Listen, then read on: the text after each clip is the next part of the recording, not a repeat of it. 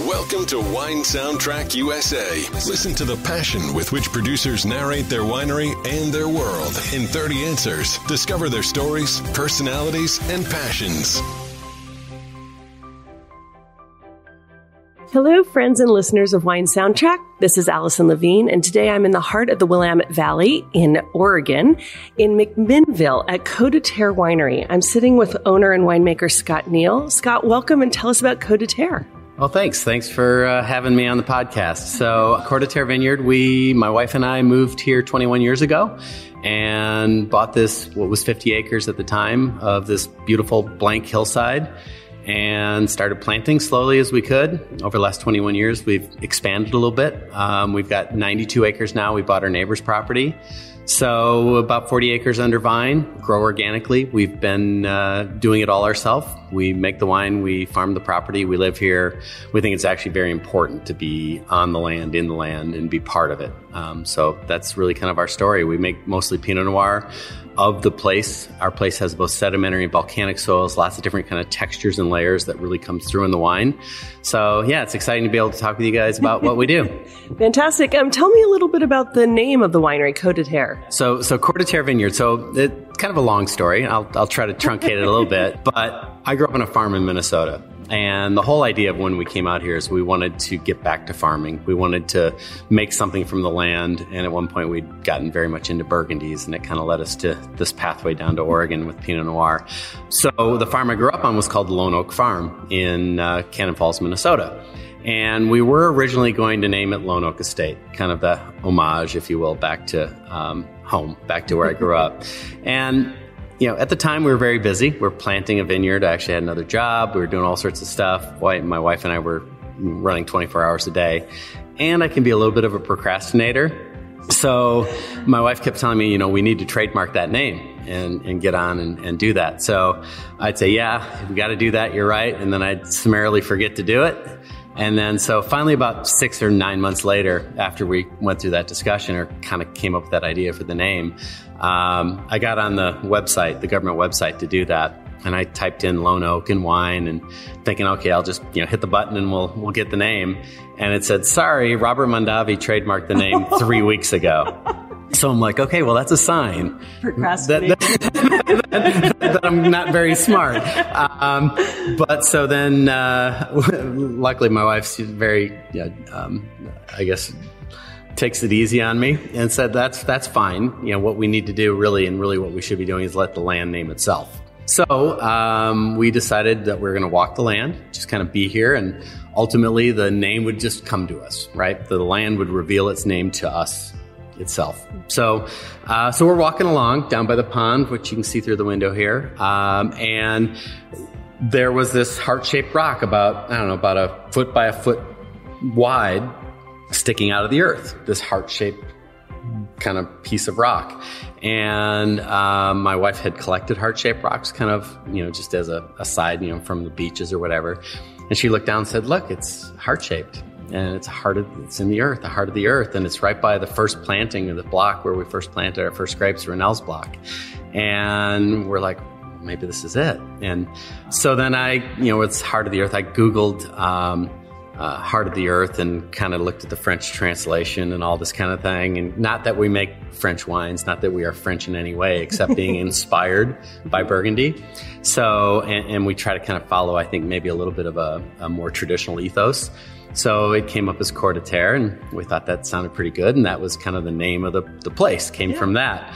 And the story goes a little bit further to show my uh-huh. how I'm not always attentive to everything. Is at one point we had this little tiny John Deere tractor. So when we moved here, we had absolutely no money. We uh, spent every nickel we had to buy the land, uh, and then I had to. I remember I got a loan for this old John Deere tractor, five thousand dollar loan for this original John Deere tractor that we had, and it was tiny, but it had a bucket on it. So I'm like, oh, I'm going to dig this out to see how big it is. And so I kept digging and it kept getting bigger and bigger and bigger. I'm like, it's, it's not the heart of the earth. It, it is the earth. It's attached. So, so I gave up and just said, well, it's just going to be a little, you know, shrine down there to, to, to Coeur de Terre this whole thing in the earth. And then, uh, we're putting a road in. So this was before we had our road up to the top of the hill. Putting our road in, and the guy who was putting it in, before him, my wife said, make sure he doesn't touch our rock. That's our name.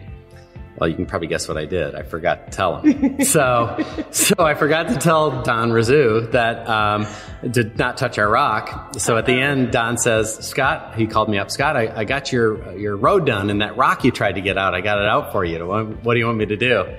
and I'm like, "Oh my god, I'm in so much trouble." I'm like, "We're going to put it exactly back the way you found it." And I get down there, and it's an eight foot tall heart shaped boulder sitting there in front of the hill and I was like, man, I am the luckiest man on the planet. Yeah. So um, it's almost like you planned it. it was fate, is what it was. And, and, actually, when that happened, I really had this like feeling like I don't know, there's something more going on. Like I'm not this lucky. So whatever was looking out for me at that point, um, there's this eight foot shaped, eight foot tall heart-shaped boulder that's both uh, it's volcanic based, but it's also encrusted with siltstone, which is what our property has both volcanic and siltstone and sandstone, our, our sedimentary soils as part of our place.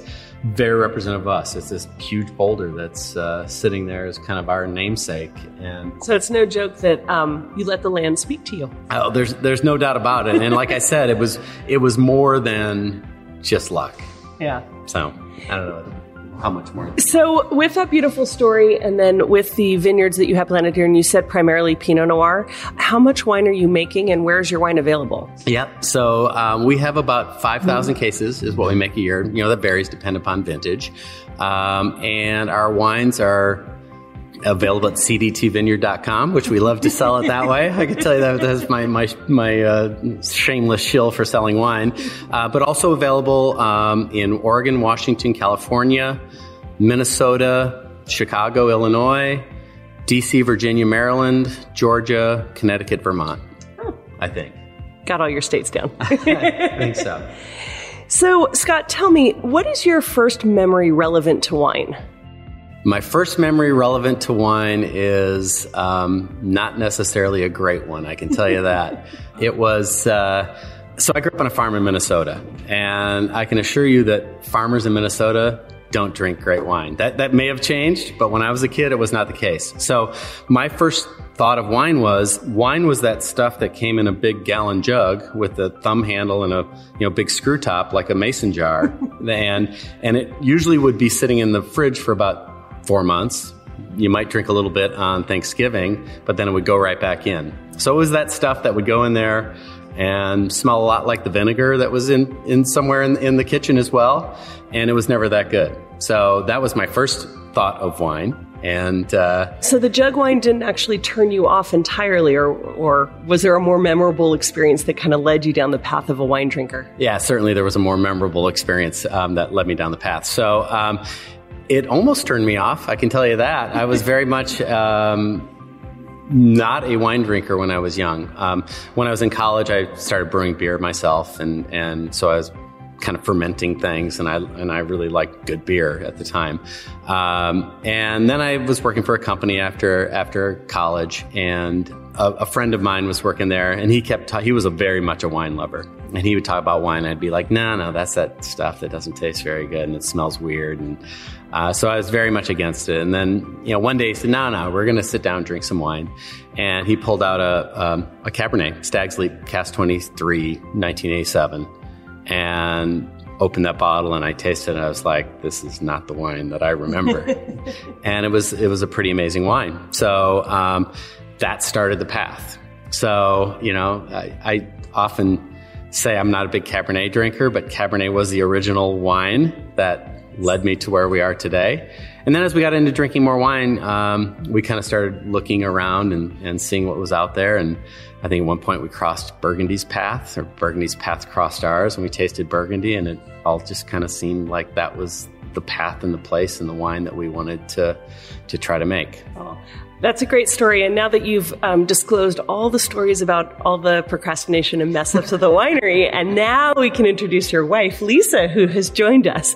He's already disclosed all the mistakes he made that worked out for the best. I, so I haven't disclosed all the mistakes. I've just disclosed some of the mistakes. And yes, and God, and God bless your patience. All that's all I can say.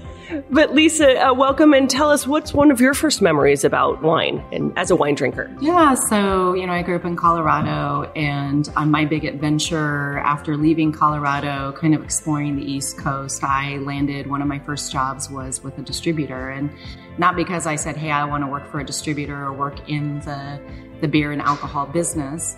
But because it was, you know, running the gauntlet of interviews and it was the first job offered to me. So it was a little bit of happenstance. And while I was in the DC area, I got to become friends with uh, several people at Foreman, which they handled the finer imported wines. And so on occasion, I would have the opportunity to get invited to something where I would be able to taste wines I would never be able to afford. And that was kind of my introduction to it. I knew I wanted to be a part of the wine industry, I just wasn't sure in what capacity. So I came back to Colorado to kind of drown in the fountain of family per se, which means to mooch off of them until you can come up with your next steps. And uh, I had planned on moving to the West Coast, but then I crossed paths with Scott, and Scott was a Minnesota farm boy who, you know, had his day job but was brewing beer in his basement, and he had, you know, written a whole software program for mash temperatures and times hooked up to this rigged cooler in his basement. And I was like, "You are such a geek! I think I want to marry you." So, um, you know, our paths crossed and we ended up, I ended up staying in Colorado a little bit longer. And then, uh, you know, a couple of years longer actually. And after shortly getting married, um, you know, I think we both kind of looked at each other and realized that the game of, you know, life, the way that it, you know, the path that it had gone to that point was not really for us. You know, sitting in suburbia, uh, you know, working the day jobs, not really sure, you know, did it really feed us on a deeper level. And so we started the march. And it was actually my parents had good friends who bought us a wine of the month club. And they would send us you know every month we would get six bottles of wine. And a lot of those were oregon wines. And so uh, not only that, but then you know we started to to plan visits. We had friends that were in the Berkeley area, and when we would go there, it would you know of course you get enamored with the you know the, the romance of it. Oh, it looks so beautiful. But you know, obviously that wasn't viable for us. We, you know, we are that rare story where we sold our little starter track house for $135,000 in Colorado and bought 50 acres in Oregon and leveraged ourselves to the hilt. And back then, you know, you could buy 50 acres. Not to say that it was advertised as prime vineyard potential, but this piece of property was $252,000 at that time. And if we wow. had to play at today's numbers, there's no way. And both of us kind of come from a similar background. Our roots, interestingly, are very intertwined in how our ancestry was how they grew up. He, you know, his grandfather was a rancher in Oklahoma, and my grandmother's family were were farmers, not very far from where his grandfather was. In fact, when we had our our, our uh, kind of uh, engagement party, it was like I had this moment of looking at him, going, "Please don't tell me we're related." but you know, this this mindset of of doing what it takes to get things done. That it's not a forty hour week. That if you've got something that you really want in your life, you work harder than forty hours and try to fit two hours in the in in you know per hour that you do that you're given in a day. And so that's kind of where we jumped off this cliff together, and it had everything to do with why we grafted our own vines, why we have always only ever managed our own vineyard and continue to do so. Scott, you know, uh, had made uh, wine with Scott Scholl. Scott Scholl had kind of brought him under his wing for one or two vintages, and then Scott took it over from that point forward. And so we've never been those people that have just, you know, let's have somebody else do it for us. One, Scott is Scottish, so that means it's extremely cheap. So, but that served us well because we didn't have the we didn't have the equity to throw into it at that time, and of course things have evolved for us now. So. So you obviously have spent some time traveling and getting into wine and drinking other wines as they kind of fell into your Wine of the Month Club. Traveling abroad, what's one of the is Burgundy really the place, your favorite place, or are there other regions of the world that sort of inspire you? I mean, for me, I think that we've only really, at least for me, I've only ever really visited those areas that are prime or, or premium uh, Pinot Noir growing regions. And so, obviously, Burgundy we have visited. We've also been to New Zealand, the South Island, which is also really lovely. Being here in this valley, we have this incredible event every year, which is the International Pinot Noir Celebration. And we've participated in that in one way or another for several years, and even before that, in, in attending it or volunteering for it. You know, so we've been able to taste Pinot Noirs from Tasmania, from Germany, you know, from all over the world, which has been such a gift to us. We have have visited Italy, you know, for whatever reason, I'm a firm believer that, you know, the wines have so much to do with the experience. You know, that, that, you know, you're sitting there and you're eating house-made salumi and, you know, enjoying the house-made olives and then the house-made wine you know, does it make it to, you know, the, the list? Maybe not, but it's some of the best wine you've ever tasted because of the experience of it. So if we were to come to your home and enter your cellar, what would we find in there? And Anything in particular drinking really well right now? Yeah, oh, so you'll you'll certainly find a lot of Oregon wine. Um, yeah, some people could accuse us of having cellar palate. I would I would say, but uh, outside of and, and Burgundies, um, I'd like to have more of those. that's for sure. Wouldn't uh, we all? Yeah, wouldn't we all? But I'd say that there's not it, there's not a small amount of Northern Rhone wines as well. I definitely enjoy the Northern Rhone, Saint Joseph down to Cornas, kind of Hermitage you know, if we can get those as well. Those wines, uh, I'd say we have some Piemonte, some some wines from the northern Italy as well. So typically, where we tend to have our wines, I'd say in general that we enjoy are ones that are more on the cooler climate, on the cooler side. So where you know wines are more on the edge of ripening versus being you know, pretty far down the pipeline of ripeness. So, in general, that's I'd say where we have most of our wines. Um, some Austrian wines from whites, certainly Alsatian wines as well. A nice, good smattering of wines. Do you think there's a such thing as a perfect variety? Pinot Noir. I think it's tough. I think that there's so there's you know there, to me I think as I've aged um, and kind of well not aged matured as I've matured right, right? as I've matured I think that what I'm realizing is that um, there's so many incredible varietals that we don't really even dive into. Um, and when, you know, for instance, Frasca's in Boulder, attending a dinner there that was pretty special in the sommelier, uh, they had these really unique varietals from Italy, had some incredible Gruner Veltliners. And when they brought the wines out from Italy to taste individually, you know, they, they seemed hugely flawed in mm-hmm. many ways. But then the chef brought out what was intended to be paired with that, and they were beautiful. Um, I think that there's so many beautiful places on the table for so many different varietals.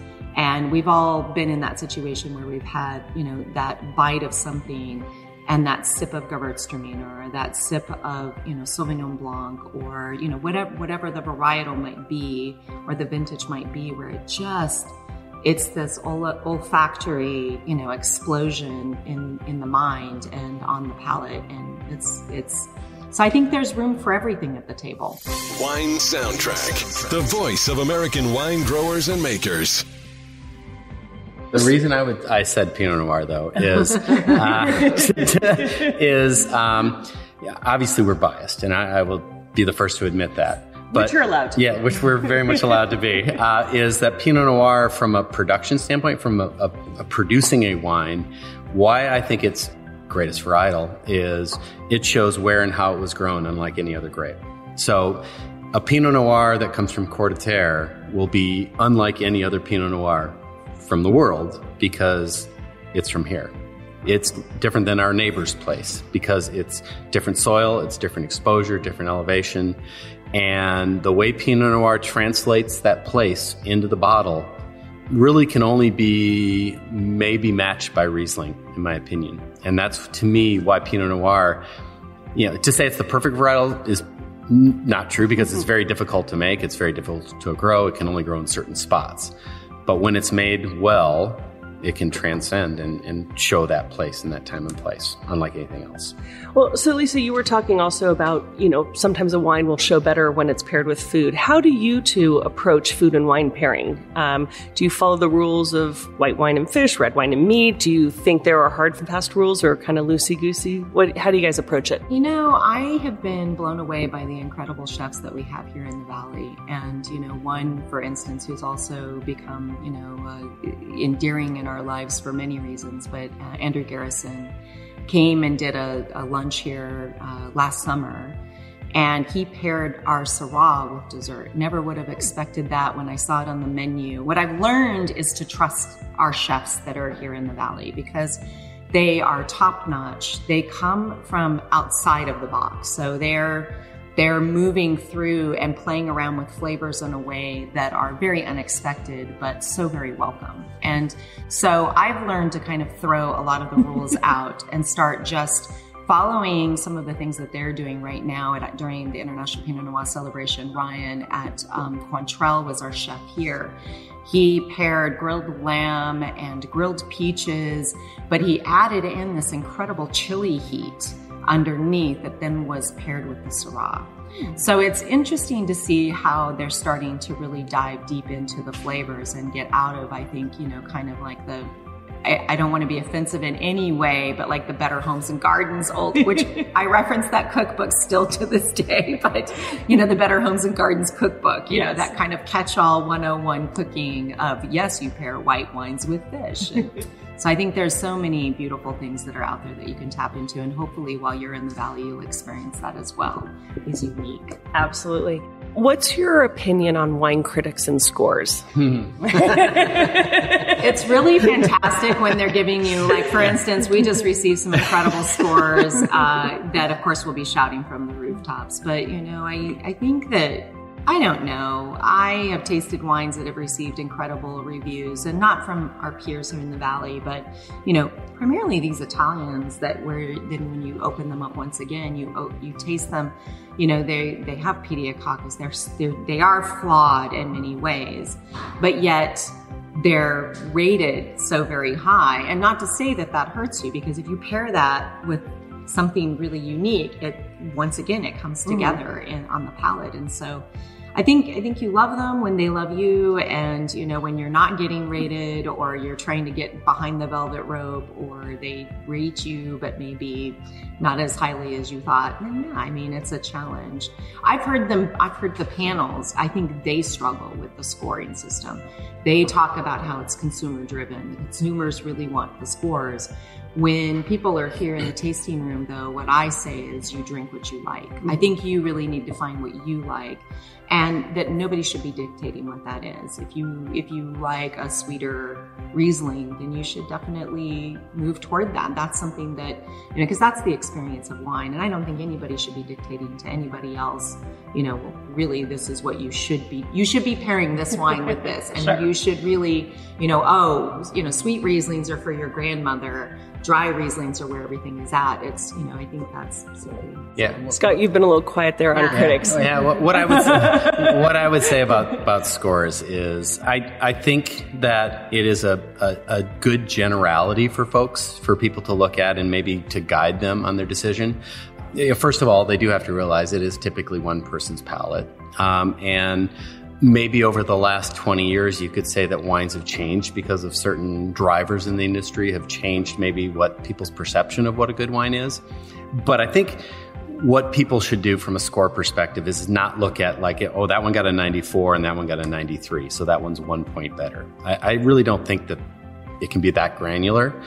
I think if a wine maybe from several wine critics gets a 70, well, you might think that that's probably maybe not a great wine. If it gets a balance of a whole bunch of folks saying that it's somewhere in the high 80s to 90s, well, maybe it's something you want to try and give it a shot and see what it's like. The guys that are pursuing that, oh, that's that 100 point wine and that's the only wine I'll drink and that kind of stuff, I, I think they're missing a huge piece of the world um, because it's more of a prestige thing that you're going after when you're looking at that versus um, maybe looking at the more of the, the whole piece of the puzzle.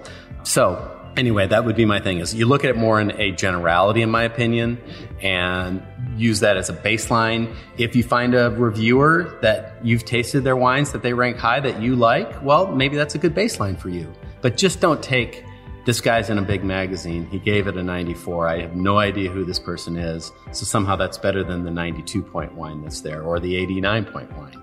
It's just whatever perception they had was different. They both probably are very excellent in many ways, and it's really a matter of what that individual person likes. Right, because it really is personal opinion. So I'm going to ask you guys a question on personal opinion. Okay. Quick answers: red, white, or rosé?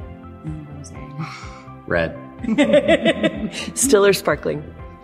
Sparkling. oh man, uh, how do you? Why do you have to choose? That's my answer. Right the decadence of it all. Yeah. you don't have to choose. I'm not really. going to.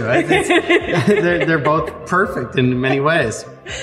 Um, what do you think that someone who hasn't tasted your wine is missing out on? I think it's the experience. You know, I think that uh, you know certainly you can find us in some states and you can find us on the shelf, some in restaurants. But you know, it's I think kind of getting back to the the previous question of you know the scores and everything. I think the consumer needs to get out and visit these regions and taste the wines. And you know the the beauty of Coeur Terre is when you come here and you experience tasting the wine on the soils while you're sitting you know in the soils in the in the vineyard uh, to be able to really understand what what is the geology transferring through to the finished product and and become educated in, in that realm but then to enjoy the overall experience of being in the farm you know in the winery while you're tasting the wine. So that's what I think my point was is people should get out and taste more and visit these regions uh, rather than just going by scores because there's so many beautiful, beautiful hidden gems,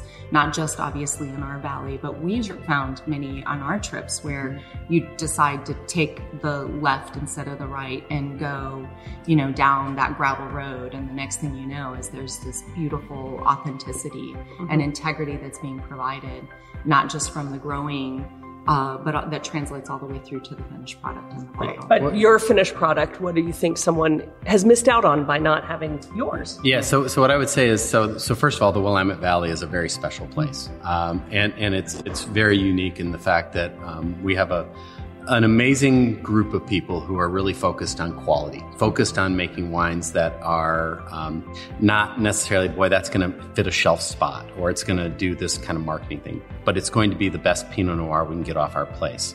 So uh, that's certainly what we're focused on is we're trying to make a wine that represents our place. So, you know, specifically what they're missing out on, again, like I said before, they will never have another Pinot Noir like ours because it's not from here. We're the only ones who make grapes off wine off of these grapes, and it has a special vibrancy and a special um, sense of place.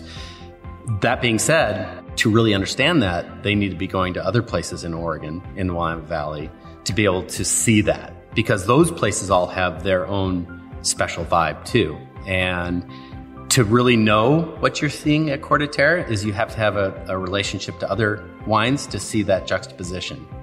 That's what I would say. So when they come here and they taste the heart of the earth, um, as the wineries here, if space aliens were to land on your property, which of your wines would you want to introduce them to? Oh, I think definitely our block designates. Our block designates are the I think the true gem of Coeur de Terre. Uh, stone's throw, these blocks are located. We've planted the blocks in all massal selection, meaning as diverse of plant material as possible, so that we could really clearly be able to uh, understand what's happening beneath the soil. And so to taste these four blocks side by side compare and contrast. Stone's throw so same vintage same general french oak profile same winemaker distinctly different wines and that's the earth that's the earth speaking and sending through you know these ancient marine sedimentary soils on the lower elevations and these ancient marine volcanic soil. So this is volcanic material created at the bottom of the ocean, mm-hmm. which is pretty amazing, you know, to think that there's this upheaval. Our volcanic soils are very different from anybody else's volcanic soils. And so it's there's there's a beauty and a gift in that that I think translates through in those block designates. So Yeah, and what I would say is that as always I agree with my wife.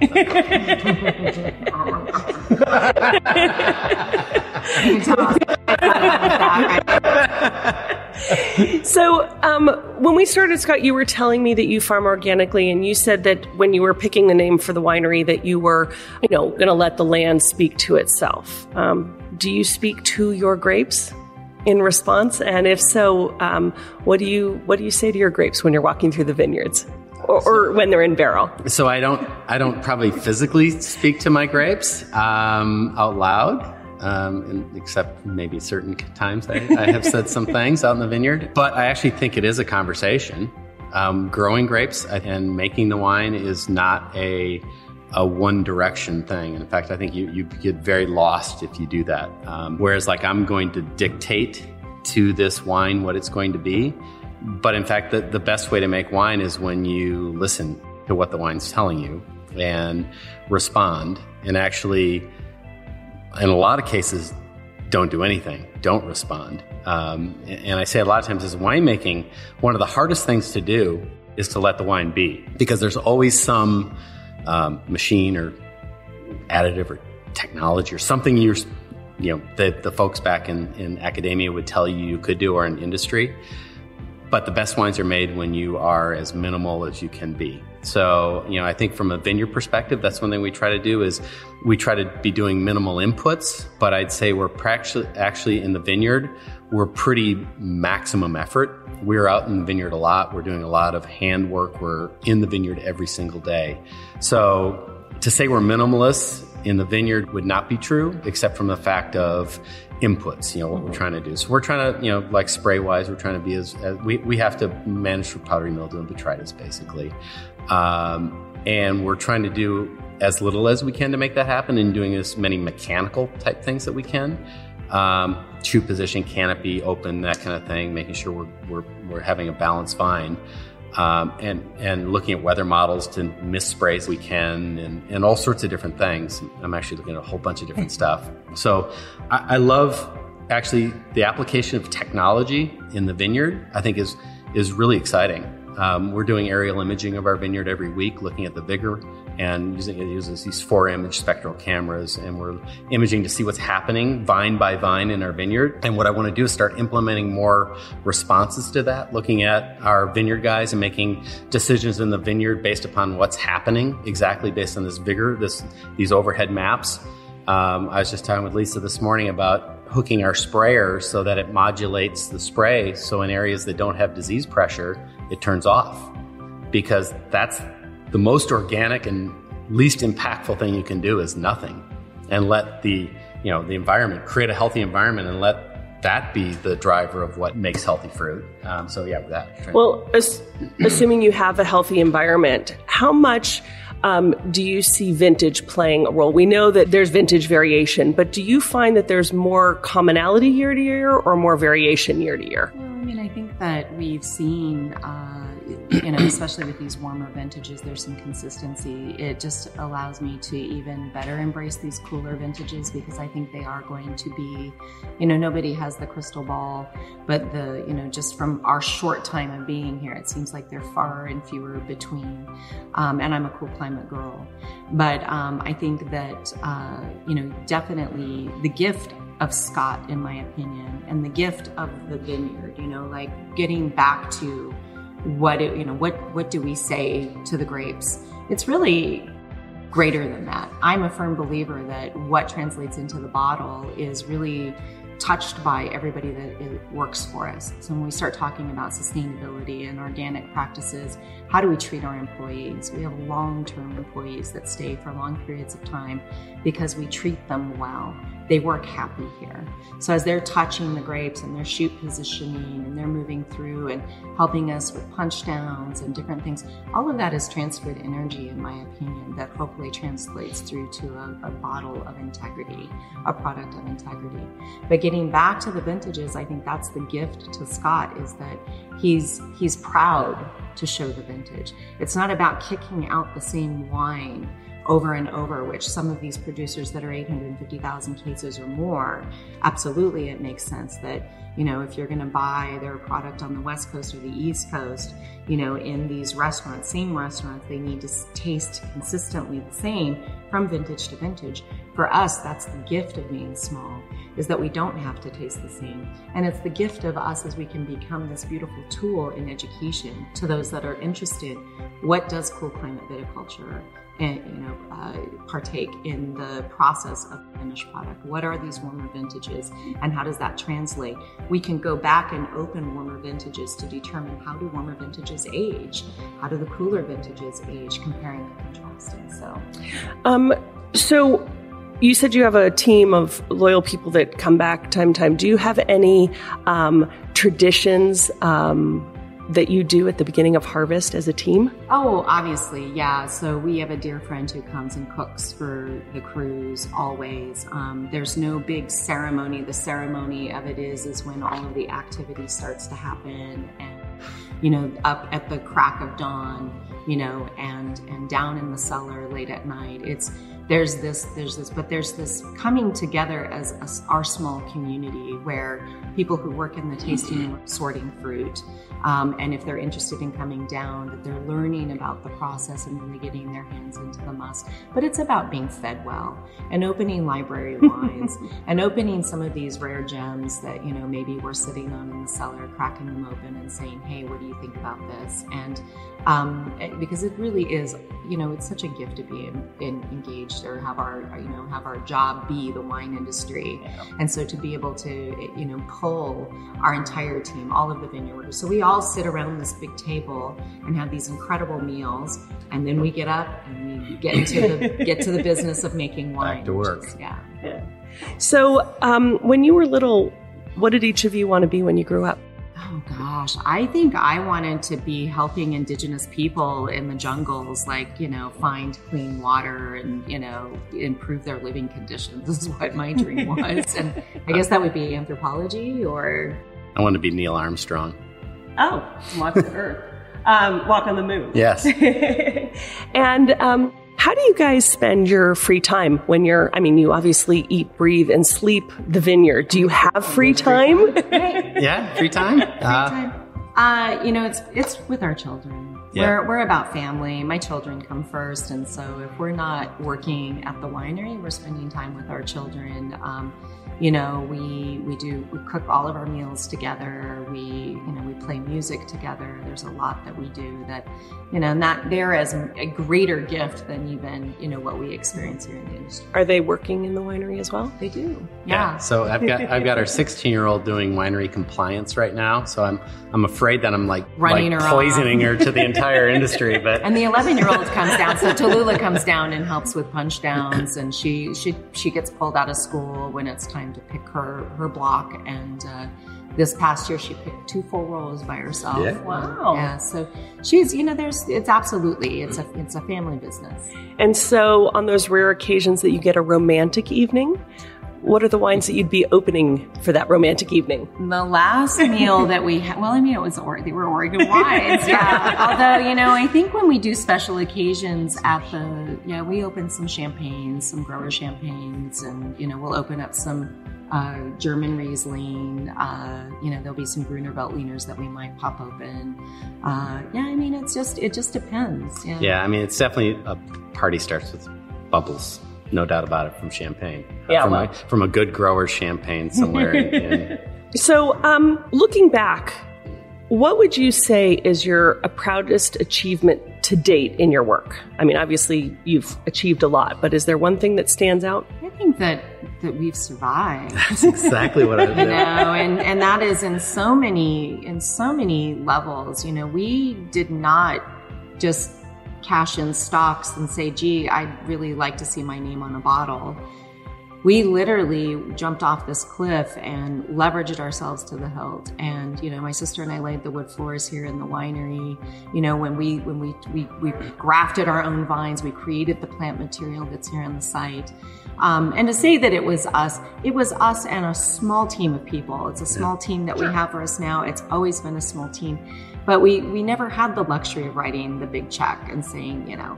So uh, to be able to survive um, you know, to be in the industry that will be going on our 21st year this coming August, and to, you know, relatively recently be invited behind the velvet rope, so to speak, you know, because, you know, it takes a lot to get to build a name in the industry, and um, especially when you do it our way. But the hard work and the fact that we've survived and that we've stayed, I think, is our great accomplishment. And, and stayed true to what we originally believed Yeah. in. And, and I really do believe that, that we stayed true and honest to our original idea of making this about the place and making it about something bigger than us. This wasn't about, you know, some, you know, boy, I want to have a bottle and have, you know, show it to my friends. This is more about having, creating a, a, a place that we could have a life that would be meaningful. Uh, remind me your total case production? About 5,000 cases. 5,000 cases. So, obviously, you've had a lot of great advice given to you over the years. Is there one piece of advice that has really um, kind of stood with you the whole time? And can you share that with us? Oh my God. Well, I, I know the one that, that sticks out of my head right away is when we were about the second year in, we went to an Oregon wine growers meeting, and Myron Redford from Amity Vineyard was there, and he's like, "Are you guys crazy? Well, do you know? do you know how hard this business is? Do you know how many divorces happen because of the or, uh, because of, of the wine industry? Are you guys sure about this?" And um, yeah, so it's advice we didn't heed but I and and Myron has been a great friend from that point on because of that beauty of the way he speaks honestly, and he's so Oregonian. He's just perfect in that way. Um, was a, a though a cautionary tale that there's more to it, right? That it, that you've got to be careful, um, which I'm not always. Sometimes it can be consuming. So uh, it's a tale that you have to continue to, to heed, I think. Well, and to your proudest achievement of surviving, I think you heeded it quite well.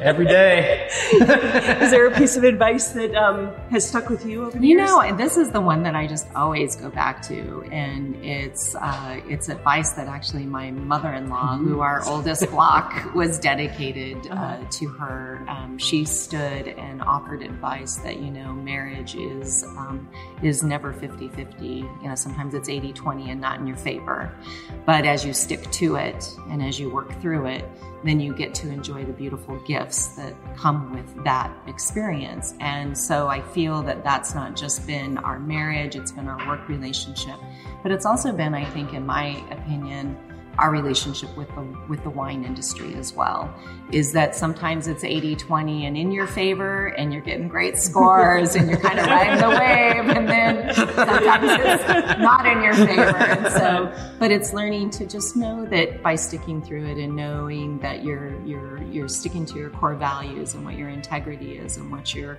your choices are with your farming practices that you don't compromise on what your core values are that gets you through it. So So, um, complete this sentence for me. Let's see if you both can go quickly without, you know, relying on the other verse. A table without wine is like. I can't even imagine. I didn't know there was such a thing.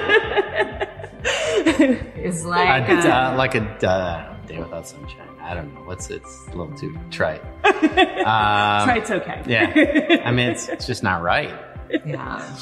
So, if you could imagine a scenario where somebody is sitting at a table in a restaurant with a bottle of your wine on the table and the paparazzi, you know, capture that. Who would you want to be that person drinking your wine? It can be famous or not famous, living or not living, but who would you want to see with that captured with that bottle of Coeur de Terre? Oh, um, for me, unfortunately, he's no longer with us, but Bryce Bagnall, who um, he was Bryce Vineyards. He was one of the truly beautiful gems of this valley. When we arrived and knew nothing and were really nobody, he kind of took us under his wing and his generosity of time and energy and love. You know, I remember we were pouring our wine at a local bakery, and he, this is when his disease had really kind of set in, and he was heading to dinner with friends, but he saw our sign and he took a left. and he came in and he had a conversation with us. And so I would love to have that picture of Bryce sitting there enjoying a bottle of our wine and um, that would just that would just be wonderful for me Okay, beat that one.